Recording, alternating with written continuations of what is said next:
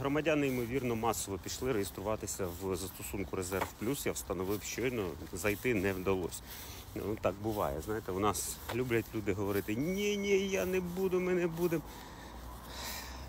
Будем, будем. З нами можна робити все, що завгодно, і межі немає. Напишіть в коментарях, хто вже має досвід реєстрації в цьому застосунку, як у вас там вийшло, не вийшло, що ви там, які у вас успіхи, чи вдалося вам оновити дані, і що вам в результаті приходить на пошту.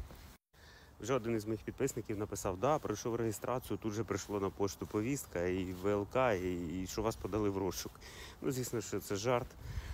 Я ще раз все ж таки рекомендую вам пройти цим застосунком для того, щоб у вас був вже QR-код валідний і до вас не було питань, коли вас будуть зупиняти. Адже станом на сьогодні, до 16 липня, е, питання буде про ем, оновлення даних. Тобто, навіть якщо ви не оновили дані до 16 липня, до вас вам можуть зробити зауваження, там можуть виписати ще щось, але не факт, що це буде штраф, тому що у вас є час до е, 16 липня. А ось після 16 вже будуть певні питання і проблеми.